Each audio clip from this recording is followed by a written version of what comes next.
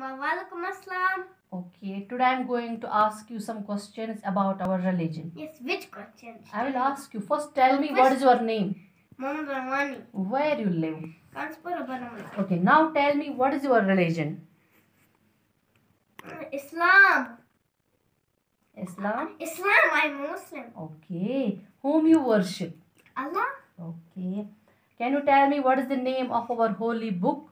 Quran Sharif. What is the name of our prophet? Hazrati Muhammad sallallahu alayhi wa. Good boy.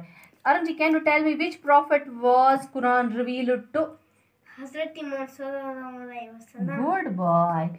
Which prophet was swallowed by a whale?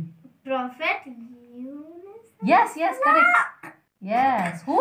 Prophet Yunus. Good boy. Okay, tell me which prophet could directly talk to Allah? I said you. Prophet Musa Ah, yeah. Okay, I'm going to ask you last question. Can you tell me which prophet did Allah give ability to talk to animals? Prophet Sulaiman alayhi salam. Good boy, Masha.